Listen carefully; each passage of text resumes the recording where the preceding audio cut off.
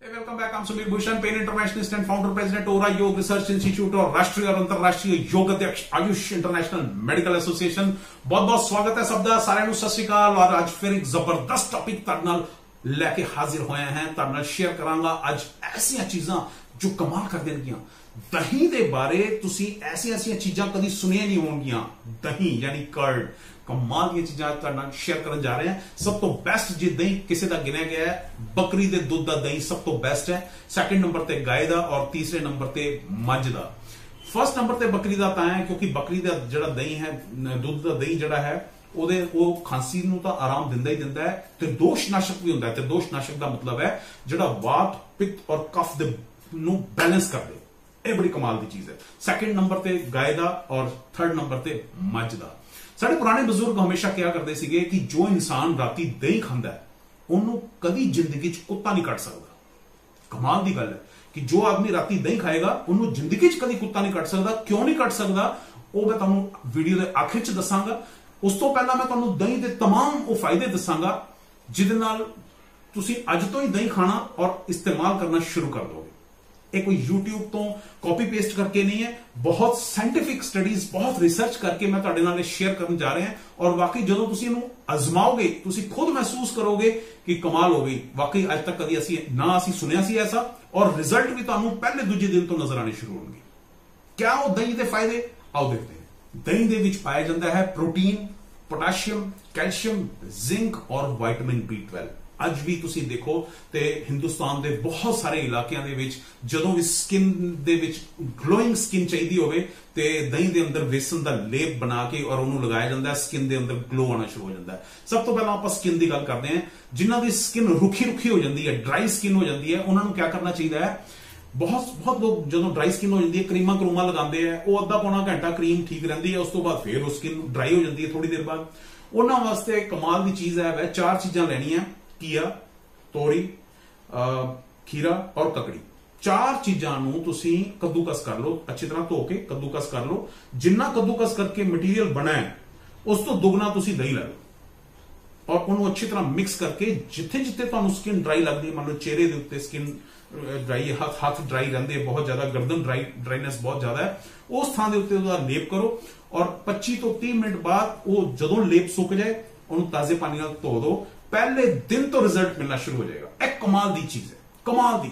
ਕਰਕੇ ਦੇਖੋ, ਪਹਿਲੇ ਦਿਨ ਤੋਂ ਤੁਹਾਨੂੰ ਰਿਜ਼ਲਟ ਮਿਲਣਾ ਸ਼ੁਰੂ ਹੋ ਜਾਏਗਾ, ਫਿਰ ਆਟੋਮੈਟਿਕਲੀ ਤੁਸੀਂ ਕਰੀਮਾਂ ਨੂੰ ਛੱਡ ਕੇ ਇਸ ਫਾਰਮੂਲੇ ਦਾ ਇਸਤੇਮਾਲ ਕਰਨਾ ਸ਼ੁਰੂ ਕਰ ਦੋਗੇ। ਦੂਸਰਾ, ਜਿਨ੍ਹਾਂ ਦੀ ਸਕਿਨ ਆਇਲੀ ਹੁੰਦੀ ਹੈ, ਜਿਨ੍ਹਾਂ ਦੀ ਸਕਿਨ ਦੇ ਉੱਤੇ ਧੱਬੇ ਪੈਣੇ ਸ਼ੁਰੂ ਹੋ ਜਾਂਦੇ ਕਾਲੇ ਧੱਬੇ ਪੈਣੇ ਸ਼ੁਰੂ ਹੋ ਜਾਂਦੇ ਆ, ਉਹ ਕੀ ਕਰਨ? ਜਿਹੜੇ ਜਿਨ੍ਹਾਂ ਨੂੰ ਆਇਲੀ ਸਕਿਨ ਦੀ ਵਜ੍ਹਾ ਨਾਲ ਦਾਗ ਧੱਬੇ ਪੈ ਜਾਂਦੇ ਆ, ਉਹ ਦਹੀਂ ਲੈ ਲੈਣ ਥੋੜਾ ਜਿਹਾ ਨਿੰਬੂ ਦਾ ਰਸ ਔਰ ਥੋੜੀ ਜੀ ਹਲਦੀ, ਤਿੰਨਾਂ ਦਾ ਅੱਛੀ ਤਰ੍ਹਾਂ ਲੇਪ ਬਣਾਉਣ ਔਰ ਉਹਨੂੰ ਜਿੱਥੇ ਜਿੱਥੇ ਤੁਹਾਨੂੰ ਲੱਗ ਰਿਹਾ ਕਿ ਦਾਗ ਦੱਬੇ ਹੈਗੇ ਆ, ਉਸ ਉਸ ਥਾਂ ਦੇ ਉੱਤੇ ਲਗਾਓ ਔਰ ਤਕਰੀਬਨ 20 ਮਿੰਟ ਬਾਅਦ ਉਹਨੂੰ ਤਾਜ਼ੇ ਪਾਣੀ ਨਾਲ ਧੋ ਦਿਓ ਕੁਝ ਦਿਨ ਬਾਅਦ ਦੇਖੋਗੇ, ਹਾਲਾਂਕਿ ਪਹਿਲੇ ਦਿਨ ਤੋਂ ਕੁਝ ਕੁਝ ਫ਼ਰਕ ਨਜ਼ਰ ਆਏਗਾ ਕੁਝ ਦਿਨ ਬਾਅਦ ਜਦੋਂ ਤੁਸੀਂ ਇਹਨੂੰ ਰਿਪੀਟ ਕਰੋਗੇ, ਤੁਹਾਨੂੰ ਫ਼ਰਕ ਨਜ਼ਰ ਆਉਣਾ ਸ਼ੁਰੂ ਹੋ ਜਾਏਗਾ। ਕੋਈ ਕਰੀਮ ਦਾਗ, ਧੱਬੇ ਕਦੇ ਨਹੀਂ ਮਿਟਾ ਸਕਦੀ, ਇਹ ਬੈਸਟ ਫਾਰਮੂਲਾ ਹੈ। ਕਰਕੇ ਦੇਖਿਓ, ਅਜ਼ਮਾ ਕੇ ਦੇਖਿਓ। ਜਿਹੜੇ ਲੇਡੀਜ਼ ਮੋਇਸਚਰਾਈਜ਼ਰ ਦਾ ਇਸਤੇਮਾਲ ਕਰਦੀਆਂ ਉਹਨਾਂ ਵਾਸਤੇ ਕਮਾਲ ਦੀ ਚੀਜ਼ ਦੱਸਦਾ ਜਿਨ੍ਹਾਂ ਨੂੰ ਮੋਇਸਚਰਾਈਜ਼ਰ ਕਰੀਮ ਛੱਡਣ ਦਾ ਤਰੀਕਾ ਚਾਹੀਦਾ ਹੈ, ਉਹਨਾਂ ਨੂੰ ਚਾਹੀਦਾ ਹੈ ਕਿ ਦਹੀਂ ਦੇ ਅੰਦਰ ਸ਼ਹਿਦ ਪਾ ਕੇ ਅੱਛੀ ਤਰ੍ਹਾਂ ਮਿਕਸ ਕਰਕੇ ਔਰ ਉਹਦਾ ਲੇਪ ਲਗਾ ਲੈਣ। ਲੇਪ ਲਗਾ ਕੇ ਅੱਧੇ ਘੰਟੇ ਬਾਅਦ ਉਹਨੂੰ ਤਾਜ਼ੇ ਪਾਣੀ ਨਾਲ ਧੋ ਕੇ ਦੇਖੋ, ਕਮਾਲ ਹੋ ਜਾਏਗੀ। ਮੋਇਸਚਰਾਈਜ਼ਰ ਦਾ ਬੈਸਟ ਕੰਮ ਕਰੇਗਾ, ਸ਼ਹਿਦ ਔਰ ਦਹੀਂ। ਜਿਨ੍ਹਾਂ ਦੀ ਸਕਿਨ ਆਇਲੀ ਰਹਿੰਦੀ ਹੈ ਆਇਲੀ ਸਕਿਨ ਵਾਲੇ ਕੀ ਕਰਨ?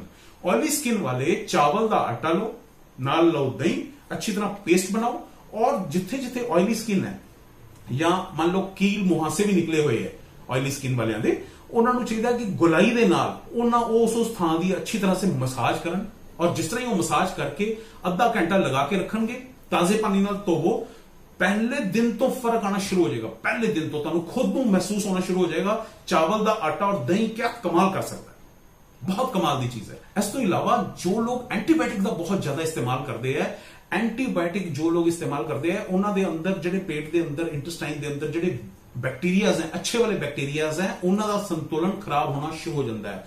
ਔਰ ਜੇ ਉਹਨਾਂ ਦਾ ਸੰਤੁਲਨ ਬਣਾ ਕੇ ਰੱਖਣਾ ਹੈ, ਉਹਨਾਂ ਨੂੰ ਦਹੀਂ ਦਾ ਇਸਤੇਮਾਲ ਜ਼ਰੂਰ ਕਰਨਾ ਚਾਹੀਦਾ ਹੈ ਤਾਂ ਕਿ ਜਿਹੜਾ ਬੈਲੈਂਸ ਹੈ, ਉਹ ਬੈਲੈਂਸ ਬਿਗੜੇ ਨਾ, ਅੱਛੇ ਬੈਕਟੀਰੀਆਜ਼ ਦਾ। ਬਹੁਤ ਸਾਰੇ ਲੋਕ ਕੋਲੇਸਟ੍ਰੋਲ ਦੀ ਵਜ੍ਹਾ ਨਾਲ ਵੀ ਬੜੇ ਪਰੇਸ਼ਾਨ ਰਹਿੰਦੇ ਆ, ਔਰ ਕੋਲੇਸਟ੍ਰੋਲ ਦੇ ਨਾਲ ਆਮ ਤੌਰ ਤੇ ਕਿਹਾ ਜਾਂਦਾ ਜੀ, ਤੁਹਾਡਾ ਬੈਡ ਕੋਲੇਸਟ੍ਰੋਲ ਵੱਧ ਗਿਆ ਬੈਡ ਕੋਲੇਸਟ੍ਰੋਲ ਵੱਧ ਗਿਆ। ਸਮੱਸਿਆ ਇਹ ਹੈ ਕਿ ਜਿਹੜਾ ਅੱਛਾ ਵਾਲਾ ਕੋਲੇਸਟ੍ਰੋਲ ਹੈ, ਉਹਨੂੰ ਵਧਾਉਣ ਦੀ ਕੋਈ ਦਵਾਈ ਨਹੀਂ ਆਂਦੀ ਅੱਛੇ ਕੋਲੇਸਟ੍ਰੋਲ ਨੂੰ ਸਿਰਫ ਦੋ ਹੀ ਚੀਜ਼ਾਂ ਵਧਾ ਸਕਦੀਆਂ ਇੱਕ ਤਾਂ ਸੈਰ ਔਰ ਇੱਕ ਦਹੀਂ। ਬਹੁਤ ਸਾਰੇ ਲੋਕ ਜਦੋਂ ਕੋਲੇਸਟ੍ਰੋਲ ਤੋਂ ਜ਼ਿਆਦਾ ਪਰੇਸ਼ਾਨ ਹੁੰਦੇ ਆ, ਦਹੀਂ ਦਾ ਇਸਤੇਮਾਲ ਜੇ ਉਹ ਕਰਨਾ ਸ਼ੁਰੂ ਕਰ ਦੇਣ ਤੇ ਕੁਝ ਹੀ ਦਿਨਾਂ ਬਾਅਦ ਕੁਝ ਹਫ਼ਤਿਆਂ ਬਾਅਦ ਉਹ ਮਹਿਸੂਸ ਕਰਨਗੇ ਕਿ ਅੱਛੇ ਵਾਲਾ ਕੋਲੇਸਟ੍ਰੋਲ ਵਧਣਾ ਸ਼ੁਰੂ ਹੋ ਗਿਆ ਜਿਹਦੇ ਨਾਲ ਹਾਰਟ ਅਟੈਕ ਦੇ ਚਾਂਸਸ ਖਤਮ ਹੋ ਜਾਂਦੇ ਆ ਕੋਲੇਸਟ੍ਰੋਲ ਘਟਣ ਦੇ ਨਾਲ ਤੁਹਾਨੂੰ ਪਤਾ ਹੀ ਹੈ ਕਿ ਬਹੁਤ ਸਾਰੀਆਂ ਸਮੱਸਿਆਵਾਂ ਦਾ ਸਮਾਧਾਨ ਹੋ ਜਾਂਦਾ ਹੈ। ਇਸ ਤੋਂ ਇਲਾਵਾ ਜੋ ਲੋਕ ਦਹੀਂ ਦਾ ਇਸਤੇਮਾਲ ਕਰਦੇ ਆ ਜਿਨ੍ਹਾਂ ਦੇ ਨੱਕ ਦੇ ਵਿੱਚ ਜਿਹੜੇ ਸਾਡੇ ਕੀਟਾਣੂ ਹੁੰਦੇ ਆ ਜਿਹੜਾ- ਜਿਹੜੇ ਕਿ ਨਿਮੋਨੀਆ ਔਰ ਸਾਡੇ ਗਲੇ ਨੂੰ ਖਰਾਬ ਕਰਨ ਦਾ ਕੰਮ ਕਰ ਦਿੰਦੇ ਆ ਦਹੀਂ ਉਹਨਾਂ ਕੀਟਾਣੂਆਂ ਨੂੰ ਵੀ ਨਾਸ਼ ਬੜੀ ਈਜ਼ੀਲੀ ਕਰ ਦਿੰਦਾ ਹੈ। ਔਰ ਸਭ ਤੋਂ ਅੱਛੀ ਗੱਲ ਹੈ ਕਿ ਉਹਦੇ ਅੰਦਰ ਮੌਜੂਦ ਜਿਹੜੇ ਪ੍ਰੀਬਾਇਓਟਿਕਸ ਹੈ, ਉਹ ਸਾਡੇ ਇਮਿਊਨ ਸਿਸਟਮ ਨੂੰ ਬਹੁਤ ਸਟਰੋਂਗ ਬਣਾਉਂਦੇ ਹੁਣ ਮੈਂ ਤੁਹਾਨੂੰ ਦੱਸਦਾ ਹਾਂ ਕਿ ਸਾਡੇ ਪੁਰਾਣੇ ਬਜ਼ੁਰਗ ਕਿਉਂ ਕਹਿੰਦੇ ਸੀਗੇ ਕਿ ਰਾਤ ਨੂੰ ਜਿਹੜਾ ਇਨਸਾਨ ਦਹੀਂ ਖਾਏਗਾ, ਉਹਨੂੰ ਜ਼ਿੰਦਗੀ 'ਚ ਕਦੀ ਕੁੱਤਾ ਨਹੀਂ ਕੱਟ ਸਕਦਾ। ਕਿਉਂ ਨਹੀਂ ਕੱਟ ਸਕਦਾ? ਕਿਉਂਕਿ ਜੋ ਇਨਸਾਨ ਰਾਤ ਨੂੰ ਦਹੀਂ ਖਾਏਗਾ, ਉਹਨੂੰ ਉਹਦੇ ਜੋੜਾਂ 'ਚ ਦਰਦ ਆਉਣਾ ਸ਼ੁਰੂ ਹੋ ਜਾਏਗਾ। ਜਿਹਦੇ ਗੋਡਿਆਂ 'ਚ ਦਰਦ ਆਉਣਾ ਸ਼ੁਰੂ ਹੋ ਜਾਏਗਾ, ਉਹਨੂੰ ਲਾਠੀ ਦਾ ਇਸਤੇਮਾਲ ਕਰਨਾ ਪਏਗਾ। ਔਰ ਜਿਹਦੇ ਹੱਥ 'ਚ ਲਾਠੀ ਹੋਏਗੀ, ਉਹਨੂੰ ਕੁੱਤਾ ਕਿਵੇਂ ਕੱਟ ਸਕਦਾ ਹੈ? ਕਦੇ ਨਹੀਂ ਕੱਢ ਸਕਦਾ। ਇਹ ਪੁਰਾਣੇ ਬਜ਼ੁਰਗਾਂ ਦਾ ਇੱਕ ਸਟਾਈਲ ਸੀਗਾ, ਇੱਕ ਤਰੀਕਾ ਸੀਗਾ ਸਮਝਾਉਣ ਦਾ ਕਿ ਰਾਤੀ ਦਹੀਂ ਨਹੀਂ ਖਾਣਾ, ਨਹੀਂ ਤੇ ਜੋੜਾਂ 'ਚ ਦਰਦ ਹੋ ਜਾਏਗਾ। ਸਾਇੰਟਿਫਿਕ ਰੀਜ਼ਨ ਕੀ ਹੈ? ਕਿ ਸੂਰਿਆਸਤ ਤੋਂ ਬਾਅਦ ਜਦੋਂ ਸੂਰਿਆ ਅਸਤ ਹੋ ਜਾਂਦਾ ਹੈ, ਉਸ ਤੋਂ ਬਾਅਦ ਸਾਡੀ ਜਿਹੜੀ ਜਠਰ ਅਗਨੀ ਹੈ, ਭੋਜਨ ਨੂੰ ਪਚਾਉਣ ਦੀ ਜਿਹੜੀ ਪ੍ਰਕਿਰਿਆ ਹੈ, ਉਹ ਮੰਦ ਪੈ ਜਾਂਦੀ ਹੈ ਸਲੋ ਸਲੋ ਡਾਊਨ ਹੋ ਜਾਂਦੀ ਹੈ। ਉਸ ਵੇਲੇ ਜਦੋਂ ਅਸੀਂ ਖਾਣੇ ਦੇ ਨਾਲ ਕੋਈ ਵੀ ਫਰਮੈਂਟਡ ਚੀਜ਼ ਖਾਂਦੇ ਹਾਂ, ਯਾਨੀ ਦਹੀਂ ਜਾਂ ਲੱਸੀ ਦਾ ਇਸਤੇਮਾਲ ਕਰਦੇ ਹਾਂ, ਤੇ ਉਹ ਪੇਟ ਦੇ ਵਿੱਚ ਉਥਲ-ਪੁਥਲ ਮਚਾ ਦਿੰਦਾ ਹੈ, ਜਿਹਦੇ ਕਾਰਨ ਖਾਣਾ ਅੱਛੀ ਤਰ੍ਹਾਂ ਹਜ਼ਮ ਨਹੀਂ ਹੋ ਪਾਉਂਦਾ ਔਰ ਜਦੋਂ ਖਾਣਾ ਅੱਛੀ ਤਰ੍ਹਾਂ ਨਹੀਂ ਹਜ਼ਮ ਹੋਏਗਾ, ਗਲਤ ਔਰ ਖਰਾਬ ਐਸਿਡਸ ਬਣਨਗੇ, ਉਸ ਵੇਲੇ ਉਹ ਜੋੜਾਂ ਦੇ ਦਰਦਾਂ ਨੂੰ ਡੈਫੀਨਿਟਲੀ ਤੰਗ ਕਰ ਦੇਣਗੇ ਇਸ ਕਰਕੇ ਰਾਤ ਨੂੰ ਦਹੀਂ ਕਦੇ ਨਹੀਂ ਖਾਣਾ। ਦਹੀਂ ਨੂੰ ਖਾਣ ਦਾ ਜਿਹੜਾ ਬੈਸਟ ਟਾਈਮ ਹੈ, ਉਹ ਹੈ ਦੁਪਹਿਰ ਦਾ। ਦੁਪਹਿਰ ਨੂੰ ਦਹੀਂ ਦਾ ਇਸਤੇਮਾਲ ਕਰਨਾ ਚਾਹੀਦਾ ਹੈ। ਔਰ ਜੇ ਵੀਡੀਓ ਅੱਛੀ ਲੱਗੀ ਹੋਵੇ ਤੇ ਸ਼ੇਅਰ ਜਰੂਰ ਕਰਿਓ। ਕਮੈਂਟ ਬਾਕਸ 'ਚ ਜਰੂਰ ਦੱਸਣਾ ਕਿ ਵੀਡੀਓ ਕਿਸ ਤਰ੍ਹਾਂ ਦਾ ਲੱਗਿਆ ਔਰ ਨੈਕਸਟ ਟੌਪਿਕ ਕਾਹਦਾ ਹੋਣਾ ਚਾਹੀਦਾ ਕਿਸ ਬਾਰੇ ਹੋਣਾ ਚਾਹੀਦਾ ਔਰ ਇਸ ਚੈਨਲ ਨੂੰ ਸਬਸਕ੍ਰਾਈਬ ਜਰੂਰ ਕਰਨਾ ਜੇ ਵੀਡੀਓ ਅੱਛਾ ਲੱਗਿਆ ਹੋਵੇ ਤੇ। ਬਹੁਤ ਬਹੁਤ ਸ਼ੁਕਰੀਆ thank you very much God bless